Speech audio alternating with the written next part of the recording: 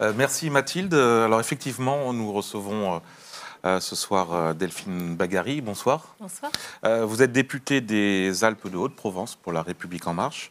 Vous êtes médecin de campagne de profession et c'est votre premier mandat. Vous avez été élu au mois de juin 2017. Vous faites partie d'un petit groupe aujourd'hui, un petit groupe de députés de la majorité qui s'oppose fermement à certaines dispositions du projet euh, Asile-Immigration, euh, porté par le ministre de l'Intérieur Gérard Collomb.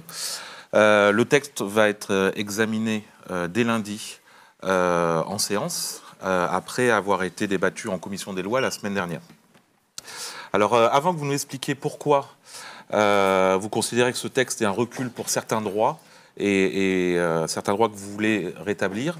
je voudrais vous faire réagir une courte vidéo. En fait, il s'agit de l'audition de Jacques Toubon, euh, le défenseur des droits ce matin qui était reçu en, commission des lois et euh, il réagissait à, des questionnements euh, de députés de votre majorité sur le constat assez dur qu'il fait du projet de loi asile-immigration.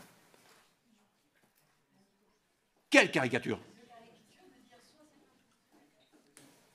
Mais on n'est pas abstrait. Le fait de ne pas aller sélectionner les personnes qui sont dans l'établissement d'hébergement c'est pas abstrait. C'est la vie la plus concrète. C'est de savoir si je passe la nuit dans la rue ou si je passe la nuit dans la rue ou si je les passe au chaud.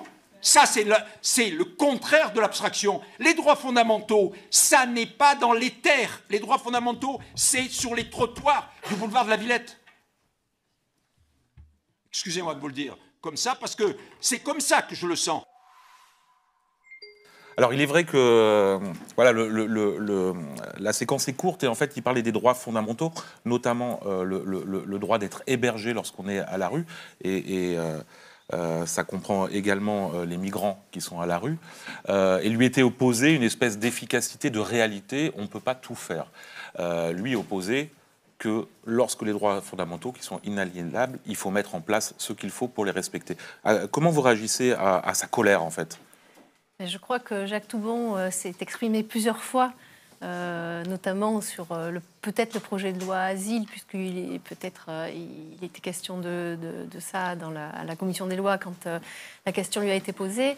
Il a toujours redit, il a toujours, il a martelé, il a dit dans son rapport que ce, projet de loi était un recul sur les droits et il est dans son, il est dans son rôle défenseur des droits, de défenseur euh, de voir euh, si, si le droit euh, et, la loi qu'on va qu'on peut voter est conforme à la Constitution, est conforme aux droits fondamentaux, est conforme aux droits de l'homme, est conforme aux conventions aussi que l'on a, a signées.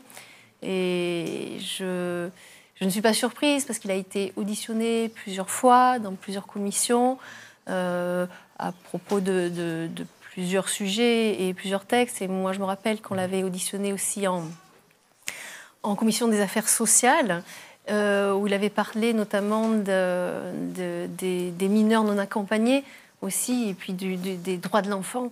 Et il avait été euh, très, très alarmiste euh, sur, sur la façon dont on pouvait appliquer ce droit ici. est-ce que vous partagez sa colère, son courroux dès lors où vous aussi, sur ce texte, euh, avec d'autres membres de la majorité, vous êtes un petit groupe d'une dizaine, avec euh, voilà qu'on peut étendre peut-être à une petite trentaine de députés euh, qui s'agrègent autour de, votre groupe, avec donc vous et un, groupe de députés où vous revendiquez de faire bouger le texte parce que vous considérez qu'il y a un recul sur certains droits.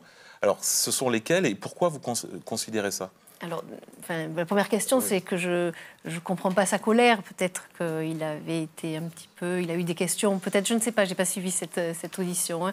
mais euh, pourquoi Enfin, nous, pareil, on, est parti de, ces constats-là, et puis on est parti surtout d'auditions euh, du défenseur des droits, du rapport du Conseil d'État, euh, euh, de, l'alerte aussi du Conseil national des barreaux, qui sont des juristes. Moi, je suis pas juriste, donc c'est vrai que j'écoute quand même, pour me forger une idée, ces, ces, experts. Et on est parti de là et on a bien vu que non, n'était qu'un recul des droits français. Et on, voulait nous dire, mais regardez ce qui se passe en Europe, ce qui se passe dans d'autres pays, etc. C'est pas parce que dans d'autres pays, il y a des discours qui sont qu'on doit, on doit faire la même chose ici en France, et qu'au contraire, il me semble que c'est une, une fierté de pouvoir dire euh, en France les défenses notamment, hein, puisqu'il est, il est question, euh, par exemple, du délai de recours en cas de, de pour contester une décision de l'OFPRA euh, d'accorder le droit d'asile. Euh, Donc, qui passerait de un mois à 15 jours, hein, selon le projet de loi qui un mois, c'est déjà différent que le droit commun, hein, qui est normalement de deux mois pour un chacun. en ce qui concerne les demandeurs d'asile, on a déjà dit que c'était, c'est raccourci à un mois, on veut le passer à 15 jours. Sous un texte, on va dire, euh, d'efficacité et de réduction des délais. Et là, je pense que c'est absurde. Euh, on veut raccourcir les délais d'instruction et de traitement. On est tous d'accord et tout le monde le dit euh, que, c'est, important de le faire. 15 jours de plus, on voudrait passer à 6 mois. Hein. on est actuellement à 11 mois Hein, en moyenne. On va passer à 6 mois, 15 jours sur les 6 mois. Je crois que c'est une loi qui est absurde. De toute façon, diminuer les droits. Et je l'ai déjà dit en, commission des lois, d'ailleurs. Moi, je, considère que euh, quand on est législateur, euh, on doit aller vers une amélioration, et notamment des droits quand ça touche l'humain et quand ça touche des humains qui sont vulnérables. Euh, on, ne peut pas raccourcir ces droits-là. Parce que, enfin, si je peux rajouter quelque chose aussi, et, c'est un argumentaire qu'on a, on a toujours donné dans notre groupe, justement aussi, notre petit groupe de travail. Hein, ça fait deux mois qu'on travaille là-dessus, euh, alors qu'on n'était pas forcément des spécialistes euh, de l'immigration. Euh, cette réduction des délais, elle ne va pas impacter ceux qui sont déjà bien organisés, ceux qui sont déjà bien informés, qui sont au courant de leurs droits. Cette réduction des délais, elle va impacter euh, ceux justement euh, qui parlent mal français, qui ne comprennent pas, qui n'ont pas, qui n'ont pas d'aide, qui ne sont pas aidés, voilà, qui ne sont pas aidés par un avocat. C'est une frange qui est minime, qui n'est pas très très importante, puisque la plupart des euh, des demandeurs d'asile sont quand même bien épaulés. Heureusement, on a des, associations qui, qui, sont là pour, pour, pour, les prendre en charge et pour les aider. Et, c'est la partie euh, la plus vulnérable, la plus fragile qui va être mise de côté, en fait. Euh, alors, pour, pour, pour résumer, au-delà de ce point, il y a aussi euh, les, points sur lesquels vous vous battez au sein de votre propre groupe. Hein. il y a l'augmentation de, de, la durée de rétention pour les personnes euh, qui sont expulsables. Euh, il y a l'absence de volonté, en, tout cas jusqu'à maintenant, euh, de volonté formelle de d'interdire la rétention des, mineurs en rétention. Ça, c'est les, trois points principaux. Il y, en a, il y en a un ou deux autres. Il y a aussi la question du. On en parlait justement sur le plateau juste avant, la question du, délai de, du délit pardon, de, de solidarité. il se trouve qu'aujourd'hui, vous êtes minoritaire dans votre groupe. Euh, un certain nombre de députés qui, se rangent derrière le, projet euh, gouvernemental euh, m'ont dit Ah, ces députés-là, ils, travaillent à l'affect. En fait, ils ne travaillent pas pour l'efficacité, mais ils travaillent avec leur, avec leur cœur, c'est très bien, mais ce qu'ils proposent n'est pas efficace. Qu'est-ce que vous pouvez répondre à ça?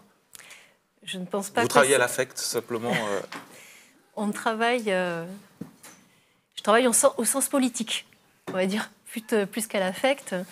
Euh, ces, amendements qu'on a déposés et, cette réflexion qu'on a nourrie, elle n'est pas venue comme ça, juste euh, à, cause de, l'émotion. On a travaillé, on a travaillé, on a rencontré les acteurs, on a écouté, on est allé sur place, on a interrogé euh, la police aux frontières, et on continue, on continue encore le faire. On est allé voir les, centres de rétention administrative. Et euh, dire, c'est pas. Je crois qu'on a fait notre travail de parlementaire, un vrai travail, euh, un vrai travail de fond pour se faire une idée juste de ce que peut être les textes. Quand on parle d'efficacité, euh, l'efficacité, elle doit être dans l'organisation.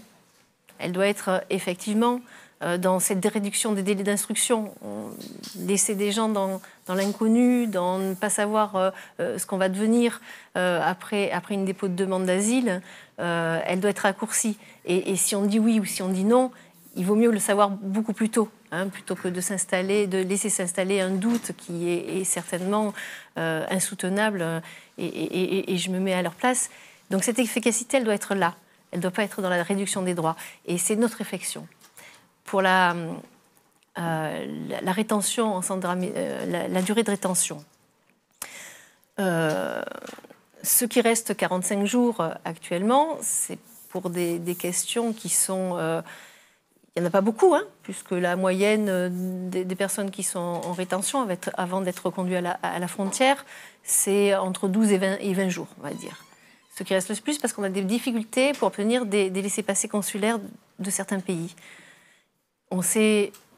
Qui, nous dit que ces laissés-passer consulaires, on va pouvoir les obtenir au bout de 90 jours, euh, puisque maintenant euh, la durée Rien ne prouve que ce sera le cas. Rien ne prouve que ce sera le cas. Et, en plus, ça ne concerne encore euh, que, très peu de réfugiés, que très peu de demandeurs d'asile, puisqu'ils n'ont pas le statut. Et, donc, là, je ne vois, je vois pas l'efficacité, je ne vois pas le pragmatisme là-dedans, hormis moi, ce que je vois, c'est le message politique qu'on veut passer derrière. Et, je me bats contre ce message politique. Et donc sur ce message politique, est-ce que vous diriez qu'il y a une espèce, sur ce sujet en tout cas, une espèce de rupture de valeur en fait au sein de votre groupe entre les durs et euh, les humanistes, entre euh, et qui pourrait être euh, dans ce cadre-là, en tout cas, assez irréconciliable? Non, je ne crois pas que ce soit la valeur. la valeur, on a, enfin, je veux dire, je pense et je crois qu'on a tous été euh, choisis hein, comme candidats euh, pour des valeurs qui sont aussi des valeurs humanistes, des, des, des, personnes qui sont engagées dans des associations ou engagées politiquement déjà. Donc, ce n'est pas une question de valeur, c'est une question de sens politique qu'on veut donner aux, choses, peut-être. Effectivement, le, quel message, quel message on veut passer? Et cette loi n'est pas dans le pragmatisme habituel, on veut dire, euh, je veux dire, de, ce qu'on a pu peut-être euh, euh, voter avant ou avec une vision d'ensemble et cohérente, comme par exemple pour, les ordonnances travail, avec ce qui se, joue après sur la formation professionnelle, l'assurance chômage, les retraites, qui, qui, sont dans une cohérence et dans la durée. Là, euh, une, il me semble que c'est plus une loi d'affichage en disant vous allez voir, vous avez vu, on, va, être ferme, mais sur le terrain, euh, ça ne va pas, ça ne va pas changer grand chose en fait, ça ne va pas changer grand chose hormis de diminuer des droits pour une frange de demandeurs d'asile qui reste, euh, je pense, peu nombreuse au regard de, de tout l'enjeu que peut avoir un un vrai, un vrai débat euh, sur l'immigration euh, de façon générale. On manque de vision d'ensemble. Pourtant, dans le groupe, euh, pour parler politique, un peu dans le groupe La République En Marche, les responsables du groupe, les rapporteurs, euh, ont vanté tout le travail de fond qui a été fait, euh, de rencontres, de déplacements sur le terrain, pour se faire une idée, pour que les députés qui n'étaient pas spécialistes, notamment comme vous, puissent se rendre compte, et vous en tirez quand même des conclusions euh, très très différentes. Non, alors je crois pas. Il y a une vraie. Il y a eu un vrai travail, un vrai travail, et là, je, dois dire que la méthode a été bonne, exemplaire. D'ailleurs, euh, je crois qu'elle va servir d'exemple pour d'autres, euh, pour d'autres projets de loi, pour d'autres travail en groupe, c'est-à-dire de pouvoir s'approprier la loi et de pouvoir comprendre euh, ce qu'il y a derrière chaque, chaque texte. Après, je les... Et c'est là peut-être qu'on est dans ce jeu politique où, la réalité politique des choses, c'est que euh, le responsable du texte, et Florent Boudier, et, la rapporteure euh, Élise ont essayé de... Et ils ont porté, ils ont porté des avancées, des avancées qui étaient minimes et pas que je trouve pas... Euh, assez ambitieux, certainement. Ils ont essayé de porter des choses avec le gouvernement, le gouvernement. Et, ça, c'est, je l'ai compris, le jeu on va dire, politique habituel entre les parlementaires de la majorité et le gouvernement. je vous découvre en tant que nouvelle parlementaire. Excusez-moi, je, vous coupe parce qu'on a encore très peu de temps. Une, question très très courte qui appelle, s'il vous plaît, une réponse courte. Aujourd'hui, quoi, hier, Richard Ferrand, en, en réunion de groupe à l'Assemblée, vous a demandé en gros de rentrer dans le rang. Hein. Je, vais, je, vais, faire un, peu court. Vous comptez rentrer dans le rang? Et ne pas euh, déposer d'amendement qui, qui porte vos convictions sur ces points-là? Euh, Non, je, je, vais déposer les amendements avec, euh, avec, avec le, groupe avec lequel on a, on a travaillé pour porter ce message politique. Après, bien sûr, Richard Ferrand il nous avait fait un rappel au règlement du groupe. On ne doit pas apporter des amendements de façon individuelle. Euh, euh, il faut que ce soit concerté, que tout le monde soit d'accord. Maintenant, euh, la parole parlementaire, le, droit individuel de déposer des amendements, je crois qu'il est primordial. Et, là, ben, oui, je vais contrevenir à ce règlement que j'ai signé moi-même, mais il y a des limites et des lignes rouges qu'on ne peut pas dépasser. Et, celle-là, c'en était une, de, pouvoir porter aussi euh, une autre parole et une autre vision politique euh, sur, sur l'immigration.